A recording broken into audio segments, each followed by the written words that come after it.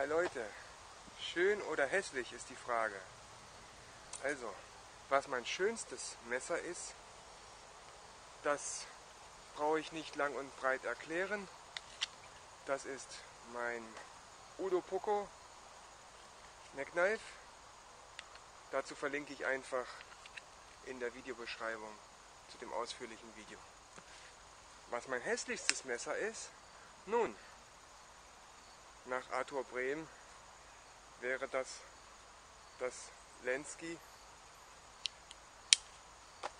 World Legal Knife. Finde ich aber gar nicht so hässlich. Finde ich irgendwie, hat eine Form wie ein Faustkeil. Vor allen Dingen, was es schön macht, und das werde ich in meinem Review in einem Monat sagen, das Ding ist fest, auch zum leichten Hebeln.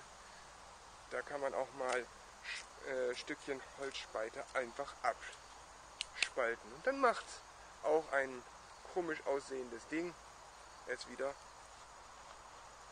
nicht unhübsch. Was ist nun mein wirkliches hässlichstes Messer? Nun ja, es ist dieses Teil, was ich doch sehr oft dabei habe. Es hat einen Löffel, es klappert, hurra, es hat eine Gabel, es hat ein, sag ich mal, für ein Brotmesser ist es doch recht scharf. Und Flaschenöffner, beziehungsweise das soll sowas wie eine Andeutung eines, eines ähm, Dosenöffners sein. Man kann dann, wenn man es wenn man den Dosenöffner ganz aufklappt, kann man es aushaken und man hat Messer und Löffel bzw. Gabel an zwei getrennten Bestecken. Hässlich, vielleicht unschön, aber nicht unbedingt hässlich. Schaut mal.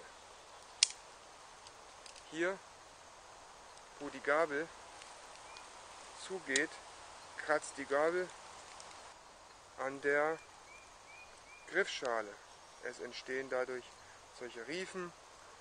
Vielleicht auch eine ganz gute Sache. Man kann sich da schnell was abschaben von der Griffschale für Zunder. Aber auch wenn hier die Griffschale ein bisschen abgeplatzt ist, da auch das Plastik.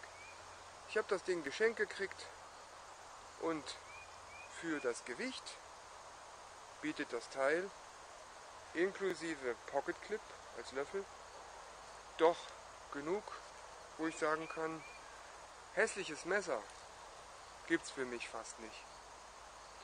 Das ist meine Videoantwort für Arthur Brehm. Ich hoffe, Arthur, dir hat es gefallen. Und in diesem Sinne wünsche ich alles Gute und sage ciao Leute.